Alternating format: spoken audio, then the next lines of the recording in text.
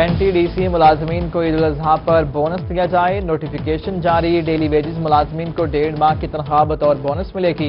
अफसरान को एक बुनियादी तनख्वाह बतौर बोनस देने का फैसला हुआ। बेजातियों में मुलविस मुलाजमीन बोनस के अहल नहीं ईद कुर्बान के मौके पर हफ़्ता और इतवार को कारोबार खुला रखने की इजाज़त दी जाए। रहीमा खान और शरीफ में मरकजी अंजुमन ताजरान का हुकूमत से मुतालबा। अंजुमन ताजरान का कहना है ताजिर बाजारों में कोरोना से बचाव के लिए तमाम हिफाजती इकदाम अपना रहे हैं। शादी हॉल्स और होटल से भी पाबंदी हटाई जाए और खरीदारी के लिए शनाख्ती कार्ड की शर्त को खत्म किया जाए।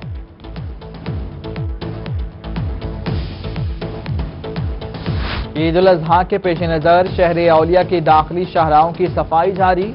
डिप्टी कमिश्नर आमिर खटक ने वेस्ट मैनेजमेंट कंपनी को ईद के मौका पर शहर की मरकजी शाहराएँ चमकाने का टास्क सौंप दिया।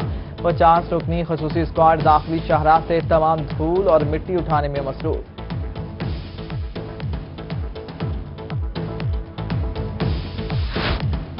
मुल्तान डिवीजनल इंतजामिया का ईद पर शहर की खूबसूरती बारे प्लान तश्कील कमिश्नर शानुल हक ने शहर की सफ़ाई और तजीन आरइश बारे हंगामी बुनियादों पर काम की हिदायत कर दी। कादिरपुर रान ता खानेवाल रोड, शुजाबाद रोड ता हाईकोर्ट रोड को मॉडल रोड का दर्जा तफवीज स्ट्रीट लाइट की बहाली तजावजात के खात्मे और अहम शाहराहों के साथ गली मोहल्लों की सफ़ाई के टास्क भी सौंप दिए गए।